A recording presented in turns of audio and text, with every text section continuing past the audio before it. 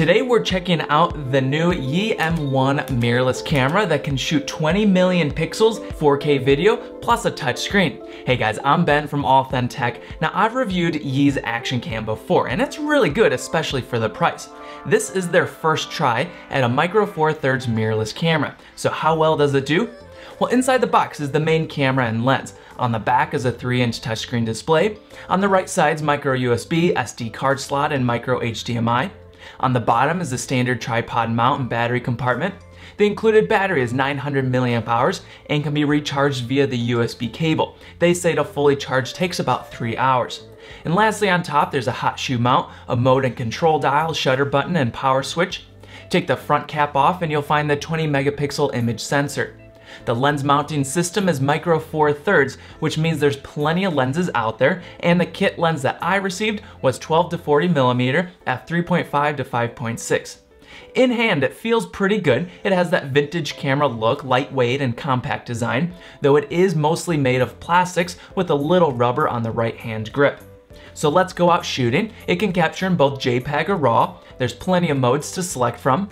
One of my favorite features of this camera is the touchscreen and how easy it is to adjust the exposure settings, simply tapping the screen and rotating the dial. If I want to change my focus point, I can just tap on the screen and it's very intuitive and easy for beginners. They also have manual focus peaking, which is great, plus a zoom in preview. Now reviewing photos is nice too. Click the playback button, scroll through your shots like a gallery app on your phone. You can even pinch to zoom in and out, check your image details, or use the control dial, zoom out, and view info on your photos like histogram and more. Now my overview thoughts on the photos is I'd rate it just okay. I mean, the images look nice and all, but nothing that just blows me away. Plus the autofocus system is pretty garbage, missing the shot too many times, and I'll touch more on this shortly.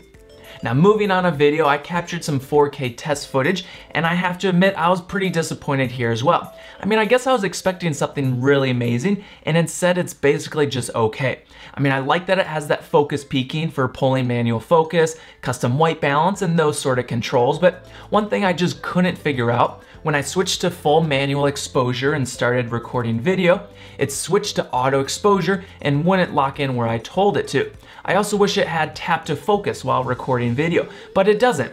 And man, that autofocus is just so slow and inaccurate a lot of the time.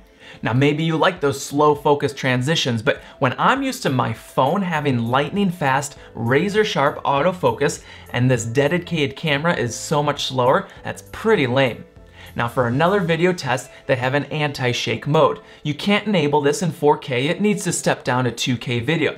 And here's a side-by-side -side comparison for you, as I went for a simple handheld walking test. In my opinion, they both look pretty shaky, and that built-in stabilization might be doing a little, but not a whole lot.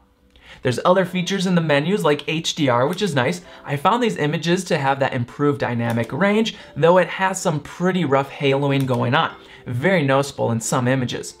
There's a nice time-lapse mode, easy to set the interval and duration settings, and it'll auto-compile into a video for you. Panorama mode is nice too. Hit the shutter button to start, drag across your horizon, and it'll auto stitch together. Another feature they boast is Wi-Fi and Bluetooth. You can connect to your phone with their app and remotely view your images. Okay, sure, this is nice if you want to download a high-res shot and share it on your social medias, but I was pretty bummed to find out that there's no live view or remote control of the M1 camera from the app. It can only view your shots already taken. This could have been a really nice feature. And a sidebar, it's kind of weird that their action cam already has this feature, but this more expensive mirrorless camera does not. I don't understand. Now here's a couple more wish list items. I like the touchscreen, but it feels a bit laggy and slow sometimes. It's not even as snappy as their action cam.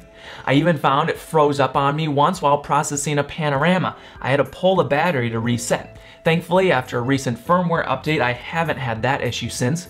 I wish it had live histogram on screen, touch to focus, and video mode. Also, it'd be a huge feature if they included a tilting screen. This is nice to have for those different shooting angles, or even be nice for those vloggers pointing it back on themselves. An articulating screen is an essential for a lot of shooters nowadays. Okay, so here's my final thoughts. Mirrorless is definitely blowing up the market right now. Just look at that Sony a7S Mark II. It's a phenomenal camera. For this one though, it's Yi's first try, and I'd say they need to get back to the drawing board and really step it up. And I totally get it, the price is a bit cheaper than most quality mirrorless out there, but in a day and age where my phone can capture beautiful still photos and killer 4K videos, and then to purchase a separate camera, it really needs to shine and I don't think this one really cuts it yet, but Yi's killing it with their action cam. Their new one has that 4K at 60 FPS, so they're definitely not out of the game just yet. I'll be looking forward to what they can produce in Gen 2. Now huge thanks to GearBest for sending me the sample unit, and if you wanna check out their current price, I'll give you the link down below. Now consider subscribing if you haven't already for more tech videos like this every week, and until next time, let's live authentic.